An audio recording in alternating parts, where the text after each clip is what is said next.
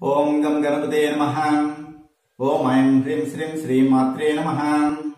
నేను మీ గుణబ్రహ్మ సరస్వతి.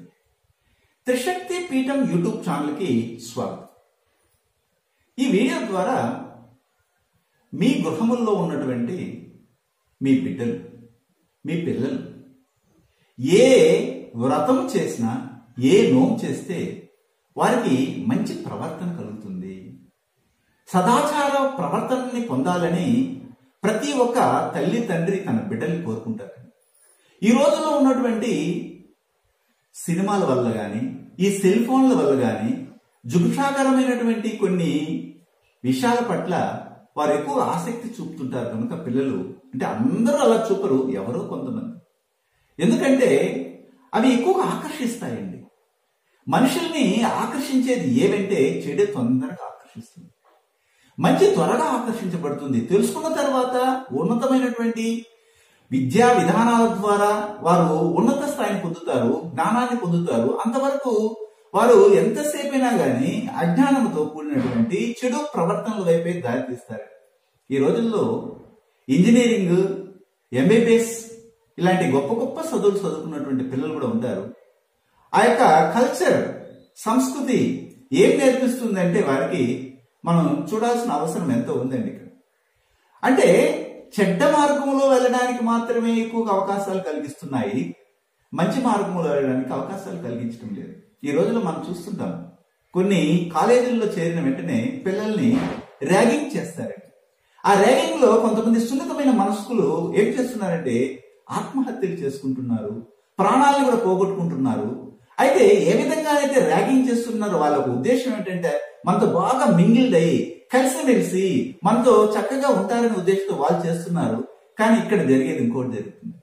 అంటే ఏది కానీ శృతి మించితే అన్ని కూడాను ఇబ్బందులేనండి. అలాంటప్పుడు ఏ వ్రతం చేస్తే ఏ నోము చేస్తే ఏ హోమం చేస్తే పిల్లలు తన యొక్క తల్లిదండ్రుల మాట వింటారు. తల్లిదండ్రులు చెప్పినట్లుగా చేస్తారు. అంటే దేనికైనా కానీ లక్ష్మీ కళాంశాలు కాదండి ముఖ్యమైనవి. జ్ఞాన సంపత్తిని ఎవరైతే పొందుతారో లక్ష్మీ కటాక్షము ఆటోమేటిక్ వచ్చేస్తుంది. అందుకని ఒక విద్యార్థి ఒకరోజు కూర్చొని ధ్యానం చేస్తున్నాడు. అక్కడికి ఒక ఋషి కుంభుడు వచ్చాడు. ఏమయ్యా నువ్వు ధ్యానం చేస్తున్నావు? ఎందుకంటే ఎవరి గురించి అంటే నాకు డబ్బు కావాలి. కోటి విద్యలు కూటి కొరకే కదా స్వామి. నేను చదివి ఉద్యోగం తెచ్చుకుని ఆ తర్వాత ఉద్యోగం చేస్తూ సంపాదించింది డబ్బే కదా. అదేదో నేను భగవంతుణ్ణి నాకు డబ్బు కావాలని కోరితే సాక్షాత్ లక్ష్మీదేవి కొండలు కొండలుగా రాసులు నాకు పోపిస్తుంది కదా బంగారు రాసుల్ని నాణ్యాలని అందుకని నేను పూజిస్తున్నాను అన్నాడు.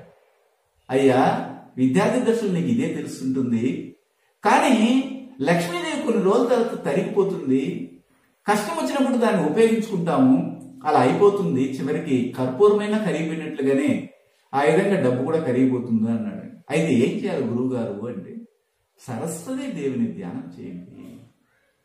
సరస్వతిని ఎవరైతే పూజిస్తారో మీకు అంచెలంచెలుగా లక్ష్మీదేవి ఆటోమేటిక్ వస్తుందని చెప్పి. ఎలా గురుగారు నువ్వు చదువుకుంటావు మంచి జ్ఞానవంతుడు అవుతావు. అయినా అప్పటికి నీకు అనేకమైన అవకాశాలు వస్తాయి. ఈ అవకాశాల కంటే కూడాను ఇంకా పెద్ద అవకాశం రావాలని ప్రయత్నం చేస్తూ వెళ్తే చివరికి అక్కడికి లక్ష్మీదేవి ఎత్తుక్కుంటూ నీ దగ్గరికి వస్తుందయ్యా. కాబట్టి జ్ఞానాన్ని పొందడానికి ప్రయత్నం చెయ్యి అని చెప్పారు అందుకనే ప్రతి ఒక్క తల్లి తండ్రి తన బిడ్డలకు జ్ఞానం రావాలి. విచక్షణ జ్ఞానాన్ని పొందాలి.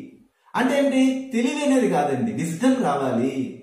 ఎవరిని ఏ విధంగా గౌరవించాలి? ఎక్కడ ఏ విధంగా మాట్లాడాలి? ఏ విధానంతో ముందుకు వెళ్తే వాళ్ళ జీవితం చక్కగా ఉంటుంది అన్న విషయాన్ని తెలియజేసే అమ్మవారైనటువంటి మహా సరస్వతి ఆరాధన హోమము ఇలాంటివి నోములు చేపించండి. ఎంతసేపైనా మా ఇంటికి లక్ష్మీదేవి రావాలి.